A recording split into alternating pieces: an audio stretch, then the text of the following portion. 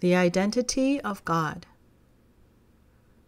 The fourth dimensional universe, before the word universe even existed, is the land of God.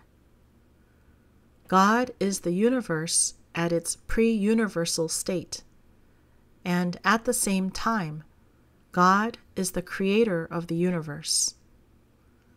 The complete emptiness is the body of God, and within that body exists the sole omnipresent mind of God.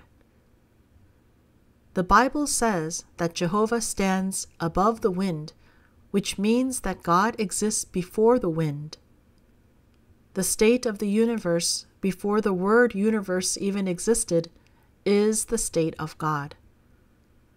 The creator of the universe is God, and every single creation is the representation of God. This means that, indeed, there exists only one God, but so many different creations exist, because despite being representations of the one and only God, each creation came to be according to condition.